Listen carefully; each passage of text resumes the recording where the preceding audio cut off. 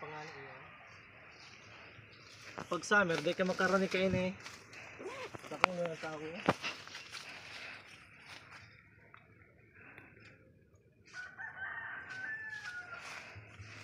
Pag andyan, ma, after pirang minutes ka, 20 minutes, kalmado na yan. Summer, iyan na ah, sa bao. Pwede mo na i-split yan. Ano yun? Ang pangalan ka, 6 month lang yan. Tiga-split na. Nyaro ko nga may mag-grass cutter nga di di man apektado yan. Dahil man. Basta dahil lang ano rin ha.